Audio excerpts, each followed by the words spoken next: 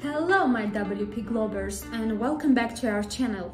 In this tutorial we will learn how to create call to action button with the help of Elementor.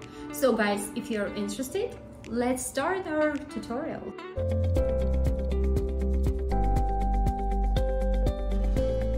So guys, first I will select the structure. So let's go with the first one.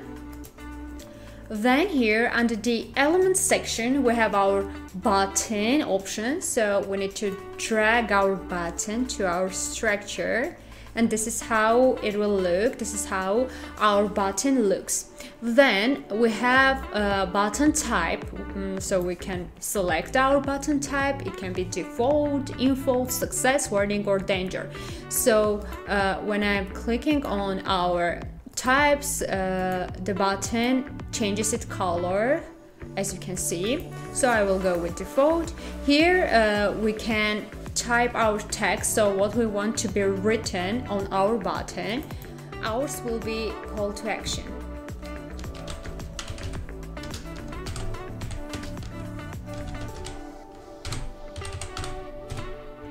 Okay, then here we need to put a link. So uh, where we want to our button to take us.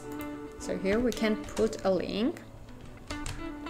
Then we have alignment. So whether you want your button to be on the center, maybe on the left side or on the right side. So I will go with the center one.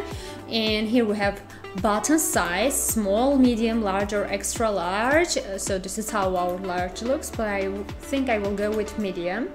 It looks good. Uh, so then we have icon button. So if you have SVG, you can uh, add, upload your SVG, but if you don't have it, you can just uh, upload like icon from our library. So I will go with this arrow.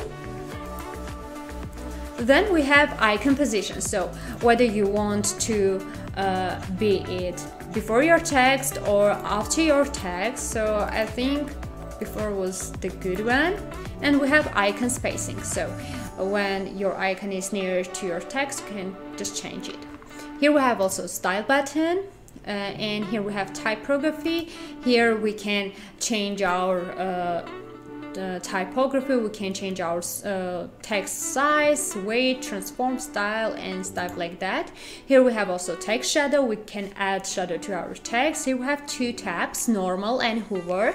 Under the normal tab we have text color background type and color. So we can just uh, simply change them. And we have here hover. We also have here text color background type and color. Also we have border color. So we can just simply change them for example like this. And when we will keep our mouse on it it will change its color. So and then we have here uh, a hover animation. So whether when you put your mouse on your button you want it to grow shrink or pulse so let's go with grow. This is how it will look we have border type, so whether you want it to be default, solid, double, I will go with default. And I have box shadow, so if you want to add a shadow to your box, this is how our button with the shadow will look. And this is how uh, we can create a call to action button with the help of Elementor. So guys, this was it. I hope you liked the video. If you will have any questions concerning to our video, you're free to ask them in the comments down below. Don't forget to subscribe to our channel and like our videos. See you soon!